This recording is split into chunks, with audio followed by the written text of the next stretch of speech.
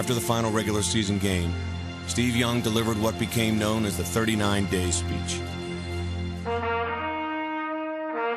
He reminded his teammates it was 39 days until the Super Bowl.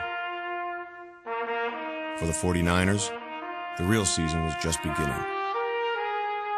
My point was, whatever it takes from this moment on, every minute that we're that you're awake, and even the minutes that you're asleep, make them count because we have one thing in mind.